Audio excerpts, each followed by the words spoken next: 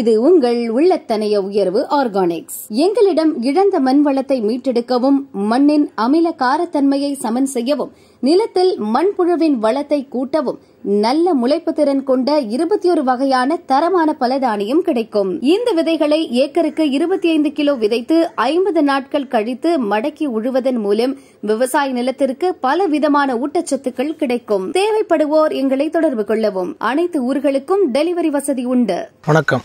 என்னோட பேர் பூங்குன்றன் நான் வந்து புதுச்சேரி மாநிலம் அரியாங்கப்பம் அரியாங்குப்பம் அருகில் இருக்க பூர்ணாங்குப்பம்ன்ற விவசாய கிராமத்துலேருந்து பேசுகிறேன். நான் வந்து அடிப்படையில் ஒரு விவசாய குடும்பம். எங்கள் அப்பா எங்கள் தாத்தாலாம் விவசாயம் பண்ணிகிட்டு இருந்தாங்க. அதுக்கப்புறம் நாங்கள் நான் ஏற்பட்ட உடனே நான் விவசாயத்தை ஆரம்பித்தேன் பழைய முறையில் அப்பா நெல் பயிர் வைப்பாங்க மணிலா அப்புறம் பருத்தி எள் இந்த மாதிரி பயிர்கள்லாம் பயிர் வச்சுருந்தாங்க. நான் வந்து அந்த மாதிரி பயிர்களில் கொஞ்சம் லாபம் கம்மி ரொம்ப மிகுந்த உழைப்பாகுது அப்படின்றதுனால வேலைபளும் காரணமாகவும் நான் வந்து மரங்கள் பழமரங்கள் அந்த மாதிரி விவசாயத்துக்கு போயிட்டேன். அந்த மாதிரி விவசாயங்கள் பண்ணும்போது மாமரம் சப்போட்டா மரம் தென்னை மரம் வாழை இப்படி கொஞ்சம் கொஞ்சமாக பயிர் வைக்க ஆரம்பித்தோம். அதில் இந்த ரெண்டரை ஏக்கர் நிலம் இது. இந்த ரெண்டரை ஏக்கர் நிலம் முழுக்க இந்த மாதிரி பயிர்களை வச்சு விவசாயம் பண்ணி அதுலேருந்து நாங்கள் வந்து ஈல்டு எடுக்க ஆரம்பித்தோம். இப்போது அது ஒரு குறிப்பிட்ட ஆழம் வரைக்கும் நல்ல முறையில் தான் அந்த விவசாயம் நான் போயிட்டுருந்தது. ஆனால் அதுக்கப்புறம் அந்த சூழ்நிலை வந்து கொஞ்சம் மாற ஆரம்பிச்சிது. என்ன சூழ்நிலைனா தானே புயல். ரெண்டாயிரத்தி பொண்ணு பதினொன்று தானே புயலில் மிகப்பெரிய சேதத்தை எங்கள் நிலத்தில் நாங்கள் சந்தித்தோம். அதில் பார்த்திங்கன்னா என்கிட்ட இருந்த தொண்ணூத்தஞ்சு தென்னை மரங்கள் விழுந்து போயிடுச்சு. அப்போது அதிலேருந்து மீண்டு வரத்துக்கு ரொம்ப சிரமமான சூழ்நிலையாக போயிடுச்சு. அதுக்கப்புறம் நம்மளோட விவசாய முறையை மாற்றிக்கணும் அப்படின்றதுனால பல பயிர்களை சாகுபடி பண்ணணும். ஒரு பயிர்கள்னாலும் இன்னொரு பயிர்லேருந்து நமக்கு வருமானம் வந்துடணுன்றதுக்காக தான் வாழையை போட ஆரம்பித்தோம். அப்புறம் தென்னங்கன்னை மறுபடியும் நட ஆரம்பித்தோம். அடர் நடவுமா பண்ண ஆரம்பித்தோம். அப்போ ஒரு மூணு வருஷத்தில் மறுபடியும் பழைய நிலைமைக்கு திரும்ப ஆரம்பித்தோம். ரெண்டாயிரத்தி பதினொன்றில் எங்களுக்கு தானே புயலால் கிடைத்த பாடம் என்னென்னா இயற்கை விவசாயம். அந்த இயற்கை விவசாயம் பார்த்திங்கன்னா முழுக்க முழுக்க கால்நடை அடிப்படையாக வச்சு இயற்கை விவசாயமாக இருக்கணும்னு ஆசைப்பட்டேன். ரெண்டாயிரத்தி பதினொன்றுலேயே போய் தானே புயல் அதை நிலத்தை சுத்தம் பண்ணிவிட்டு எல்லா வேலையும் முடிச்சுட்டு ஒரு ஒம்பலாஞ்சேரி மாடு போய் வாங்கிட்டு வந்தோம். சீர்காழி பக்கத்தில் ஒரு ஒம்பலாஞ்சேரி மாடு வாங்கிட்டு வந்தோம். மதின்னு ஒருத்தர் அவர் அப்போ அங்கே வாங்கி கொடுத்தாரு. கொள்ளிடத்தில் வாங்கி கொடுத்தாரு. அதுக்கப்புறம் அதை வச்சு விவசாயம் பண்ண ஆரம்பித்தோம் மிகப்பெரிய மாற்றம். அதுலேருந்து கிடைக்கிற சாணம் கோமியத்தை வச்சு பஞ்சகவியா அமிர்த கரைசல் ஜீவாமிர்தம் பூச்சி விரட்டி இப்படி ஒன்று ஒன்றா ஆரம்பித்து அதுக்கப்புறம் ஒரு நான்கு வருடம் கழித்து உயிராற்றல் வேளாண்மைக்கு போக ஆரம்பித்தோம் சிபிபி மூலிகை சாண உரம் கொம்பு சாண உரம் கொம்பு சிலிக்கா உரம் பீடி கம்போஸ்ட்டு இப்படி அந்த முயற்சிக்கு மாறணும் அதுக்கப்புறம் மாடுகள் பெருக ஆரம்பிச்சிது. மாடுகள் பெருக ஆரம்பித்தோன்னே சரின்ட்டு ஒரு பயோகேஸ் போட்டோம். அந்த பயோகேஸ் பார்த்திங்கன்னா அடிப்படையில் சாணத்தை அடிப்படையாக கொண்ட மிகச்சிறந்த உபகரணம்.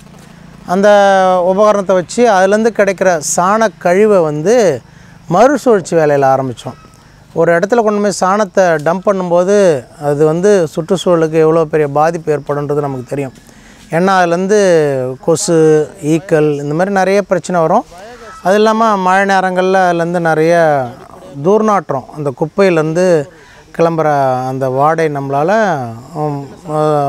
வீட்டுக்கு அருகில் இருந்ததுன்னா நம்மளால் ரொம்ப சகிச்சிக்க முடியாத அளவுக்கு தூர்நாற்றமாகவும் மாறுறதுக்கான வாய்ப்பு இருந்தது. அதை அப்போ சரி பண்ணுறதுக்காக நாங்கள் பயோகேஸ் அதில் சாணத்தை கொண்டு போய் கரைச்சி அதிலேருந்து கேஸ் எடுத்து வீட்டு பயன்பாட்டுக்கு பயன்படுத்திக்க ஆரம்பித்தோம் அதுலேருந்து வர்ற கழிவை மண்புழு உரம் தயார் பண்ண ஆரம்பித்தோம் பஞ்சகவியை தயார் பண்ண ஆரம்பித்தோம் சமயத்தில் நிலத்திலேயே பாசனம் பண்ணும்போது நிலத்தில் தண்ணி கூட நம்ம பாய்ச்சும் நீர் கூட அதை கலந்து அனுப்புகிறத வழக்கமாக வச்சுருந்தோம். அப்போது ஒரு குறிப்பிட்ட கால இடைவெளியிலேயே நிலம் ரொம்ப மிகச்சிறந்த மாற்றத்தை எங்களால் பார்க்க முடிஞ்சுது. இதுக்கப்புறம் பார்த்திங்கன்னா மழைநீர் சேகரிப்புக்கு இந்த நிலத்தில் நாங்கள் பெரிய முக்கியத்துவம் கொடுக்குறோம். ஏன்னா என்னோடய மேட்டு நிலப்பகுதியிலேருந்து ஒரு நிறைய மழைப்பொழிவு ஏற்படும்போது மண் அரிமணமோ அந்த தண்ணி நேராக பக்கத்தில் இருக்க உப்பாத்தில் போய் வளமான மண்ணோடு சேர்றது வழக்கமாக இருந்தது. அதை சரி பண்ணுறதுக்காக ஒரு முந்நூறு அடிக்கு ஒரு ட்ரென்ச்சு நீல குழி. ஒரு மூணு அடி அகலத்துக்கு ஐந்து அடி ஆழத்துக்கு நீட்டுக்கு குழி ஒன்று எடுத்தோம். அந்த குழி வந்து குழிக்கு அந்த பக்கம் நிலத்துக்கு நிலப்போ ஒரு பாதுகாப்பு மாதிரி மூங்கில் வச்சோம். அதுக்கடையில் அந்த குழியை வெட்டி அந்த குழியில் அந்த மழைநீரை சேகரிக்க ஆரம்பித்தோம் அப்போ கிடைமட்டமாக மழைநீர் ஊற ஆரம்பிக்கும் கீழ்மட்டத்துக்கும் போக ஆரம்பிச்சுது.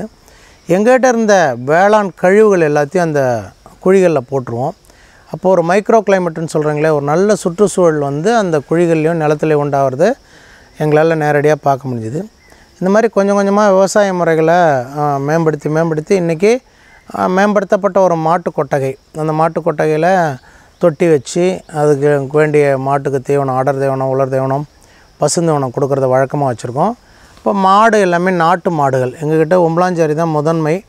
அதுக்கப்புறம் கிரு மாடு இருக்குது சாகிவால் இருக்குது ரெட் சிந்தி இருக்குது. இதுலேருந்து கிடைக்கிற அந்த கோமியத்தை தனியாக கலெக்ட் பண்ணி அதை நாங்கள் சேகரித்து வச்சு அதுலேருந்து அமிர்த கரைசலோ இல்லை ஜீவாமிர்தமோ இல்லை பஞ்சகவியமோ செய்கிறது பூச்சி விரட்டி செய்கிறதுக்கு நாங்கள் பயன்படுத்துகிறோம். சாணம் பயோகேஸ்க்கு போயிடும். சமயத்தில் சிபிபி தயார் பண்ணும்போது நல்ல புது சாணத்தை எடுத்து சிபிபி தயார் பண்ணுறத வழக்கமாக வச்சுருக்குறோம். இப்போது ஒவ்வொரு முறையிலையும் வந்து நாங்கள் அந்த மாதிரி பண்ணும்போது இந்த மாட்டு கொட்டா கழிவிடுற கழிவு நீரை மறுசுழற்சி பண்ணி அதை தான் எங்களோட நிலத்துக்கு பாய்ச்சும் நீருக்கு கூட சேர்த்து அந்த கழிவு நீரை பாய்ச்சறத வழக்கமாக வச்சுருக்கோம். இப்போ பார்த்திங்கன்னா அதுக்கு ஒரு தொட்டி அமைப்பு ஒரு சிமெண்ட் தொட்டி அமைப்பு ஒன்று ஏற்படுத்திட்டேன். அதில் தேங்காய் உரிச்சக்காய் மட்டையை ஒரு ஒரு அடி அளவுக்கு பரப்பிட்டு மேலே காஞ்ச இலை சரகுகள் தழைகள் எல்லாத்தையும் போட்டுட்டு அது மேலே பயோகேஸில் கரைக்க முடியாத புல்லோ இல்லை ச வைக்கோலோ பரட்டிகிட்டு இருக்க சாணத்தை எடுத்துகிட்டு போய் அதில் டம்ப் பண்ணுறோம் அதேமாதிரி மாட்டுக்கொட்டா வந்து ரெண்டு மாட்டுக்கொட்டா பகலில் ஒரு மாட்டுக்கொட்டாயிலையும் இரவில் ஒரு மாட்டுக்கொட்டாயிலையும் கட்டுறதை வழக்கமாக வச்சுக்குவோம். அப்போ ரெண்டு மாட்டுக்கொட்டை சுத்தம் பண்ணுற கழிவு நீர் எல்லாத்தையுமே அந்த தொட்டியில் இறைச்சி அந்த தொட்டியிலேருந்து வடிகட்டி அதை பாசன நீர் கூட கலந்து அனுப்புகிறத வழக்கமாக வச்சுருக்கோம். அப்போது ஒரு ஒரு நல்ல உர தொழிற்சாலையாக அந்த தொட்டி எனக்கு செயல்படுது. அதுலேயே நான் வந்து இஎம் ஊற்றிக்குவேன் வேஸ்ட் டிகம்போசர் ஊற்றிக்குவேன் கோமியத்தை ஊற்றிக்குவேன் இப்படி என்னென்ன இடப்பொருள் இடுபொருள் கிடைக்குதோ அந்த எல்லா இடுபொருளையும் உதாரணத்துக்கு சூடாமனசு பாஸ்போபாக்டீரியா ரைசியோவியம் இப்படி எல்லா இந்த மாதிரி இருக்கிற இடுபொருட்கள் இயற்கை இடுபொருட்கள் எல்லாத்தையும் அதில் கரைச்சி விட்டு அதில் நிறைய நுண்ணுயிர் பெருக்கத்தை ஏற்படுத்தி அதை வந்து பாசன வயலுக்கு அனுப்புகிறத வழக்கமாக வச்சுருக்கிறேன். அப்போது ஒரு விவசாயி ஒரு சூட மனசை போடுறதா இருந்தால் எப்படி போடணும் அப்படின்றது ஒரு பெரிய கேள்விக்குறி. ஏன்னா அவங்களுக்கு எருவு கிடைக்கணும் அது ஈரப்பதம் இருக்கணும். அதுக்கப்புறம் தான் அதை நிலத்தில் போடும்போது முழு பலனை அவங்களால அனுபவிக்க முடியும். ஆனால் எங்களுக்கு இந்த தொட்டி அமைப்பு இருக்கிறதுனால ஒரு பல நூறு ஆயிரம் கோடிக்கணக்கான நுண்ணுயிர்களை அந்த தொட்டியில் பெருக்கி அதுக்கப்புறம் பாசன வயலில் இடும்போது எளிமையாக வந்து நிலம் முழுக்க பழகிறதுக்கான வாய்ப்பு கிடைக்குது. இந்த தொட்டி மூலம் வேலை பழு இப்போ நம்ம எருவாக கொண்டு போய் ஒரு ஒரு மரத்துலையும் கொட்டும்போது அதில் இருக்க நடைமுறை சிரமங்கள் இருக்குது. ஆனால் நான் வந்து இந்த பாசன நீர் வழியாக அனுப்பும்போது மரம் ஒரு இப்போ ஒரு விவசாயி கேட்டோம்னா எப்போ தண்ணி பாய்ச்சுவீங்கன்னு கேட்டோம்னா உரம் போடும்போது தண்ணி பாய்ச்சுவேன் அப்படின்னு சொல்லுவார் அவரோட கருத்து என்னென்னா அந்த உரம் நிலத்தில் விழும்போது அது கரையணும். அது கரைஞ்சதை வேர் எடுத்துக்கணும். அதுக்கு முதல்ல பிடிச்சிருக்கணும். எடுத்து எடுத்துகிட்டு போய் மேலே ஒளி சேர்க்கை பண்ணி அதை உணவுப் பொருளாக மாற்றும் ஆனால் இப்போது நான் பண்ணுற முறையில் பார்த்தீங்கன்னா முழுக்க முழுக்க பாசன நீர் கூட கலந்து அனுப்புறதுனால மண்ணில் தங்கிடும் அது. வேருக்கு தேவையானது அது எடுத்துக்கும். அப்போ எளிமையான ஒரு பொருளை நம்ம உரமாக மாற்றி அந்த உரப்பொருளை நேரடியாக வேருக்கு உண்மை சேர்க்கும்போது அந்த ம நிலத்தில் இருக்க மரங்கள் பயிர்கள் வந்து நல்ல வளர்ச்சி அடைகிறத நம்மளால் கண் கூட நம்மளால் பார்க்க முடியும். இப்போது ஒரு உரத்தை எடுத்துகிட்டு வந்து அதில் இருக்க பாலித்தீன் பேப்பரை எருவு சொல்கிறேன் நான்.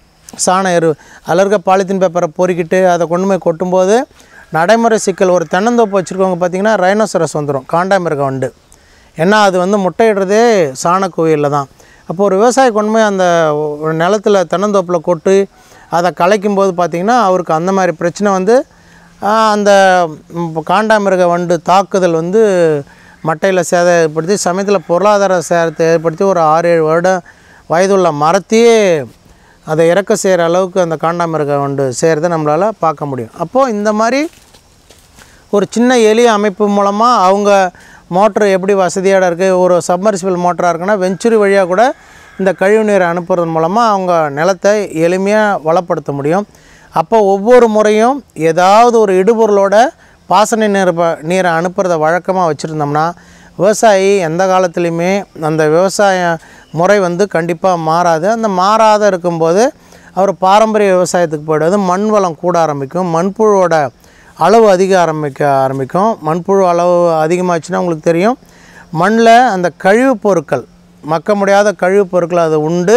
அதை மண் குவியில் மண்புழு மண்புழு உரக்குவியில் அது மாற்றும் அதை வேறு ஈஸியாக எடுத்துக்கும். அப்போ பாருங்கள் ஒரு ஒரு நல்ல ரீசைக்கிள் மெத்தடு அப்போ ஒரு மறுசுழற்சியின் மூலமாக ஒரு பொருளை மக்க வைக்கிறதுக்கு ஒரு குறிப்பிட்ட நாட்களுக்கு அப்புறம் உங்கள் நிலத்துல எந்த கழிவுப் பொருளை போட்டாலும் மக்கக்கூடிய சூழ்நிலை உண்டாகிடும் ஏன்னா அந்த அளவுக்கு உங்கள் நிலத்துல நுண்ணுயிர் பெருக ஆரம்பிச்சிடும் அப்போது ஒரு வளமான நிலத்தையும் வளமான உணவுப் பொருளையும் உண்டாக்குறதுக்கு இந்த இயற்கை விவசாயம் அதுவும் கால்நடையுடன் கூடிய இயற்கை விவசாயம் மிகச்சிறந்த ஒரு பயன்பாடாக நமக்கு இருக்கிறத நம்ம இன்றைய சூழ்நிலையில் பார்க்க முடியுது. ஆரம்பத்தில் கொஞ்சம் சிரமங்கள் சந்திச்சிருக்கலாம். ஆனால் அதுக்கப்புறம் நமக்கு அந்த செலவில்லா விவசாயம் மாதிரி அது ஆகிடும் ஜீரோ பட்ஜெட்னு சொல்கிறாங்க அந்த மாதிரி விவசாயமாக ஆகிடும் மாட்டுக்கு இங்கே இங்கே பார்த்தீங்கன்னா எங்கள் மாமரத்தை கவாத்து பண்ணுறது சப்போட்டா மரத்தை கவாத்து பண்ணுறது வாழை மரத்தை இளம் கன்றுகளை வெட்டுறது எல்லாத்தையுமே வந்து பார்த்திங்கன்னா நாங்கள் எடுத்து மாடுகளுக்கு உணவாக கொடுத்துருவோம். அது ஒரு பசுந்தீவனம் தீவனமாக ஆகிடும் அப்போ அந்த பசுந்தீவனத்துலேருந்து கிடைக்கிற அந்த சாணம் எப்படி இருக்குன்னு உங்களுக்கு தெரியும். மிகச்சிறந்த சாணம். அதை வச்சு நாங்கள் சிபிபி தயார் பண்ணுவோம் இல்லை பஞ்சகவியை தயார் பண்ணுவோம். இப்படி நிறைய இதுலேருந்து சாணத்துலேருந்து கிடைக்கிற விளைபொருளாக மா விளைபொருளுக்கு தேவையான உரமாக மாற்றக்கூடிய முறையெல்லாம் நாங்கள் நிறைய தெரிஞ்சு அதன் மூலமாக பண்ணுறோம் இங்கே தெரிஞ்ச பழக்கடைகள் இருக்குது. அந்த பழக்கடைகளில் வீணாகி போகிற பழங்களை எடுத்துகிட்டு வந்து அந்த தொட்டியிலே கொட்டிடுவோம். அப்போ ஒரு பழம் உற்பத்தி ஆகிறதுக்கு மண்ணிலேருந்து சத்தை எடுத்து ஒளிச்சேர்க்கை பண்ணி அது மொட்டு பூ காய் பழமாகிற அளவுக்கு அந்த சத்து அந்த பழங்களில் இருக்கும். அந்த பழங்கள் வீணாக போன பழங்களை நம்ம குப்பை தொட்டிலையோ மற்ற இடங்கள்லையோ போகும்போது அது சுற்றுச்சூழலுக்கு மிகப்பெரிய கேடாக இருக்கும்.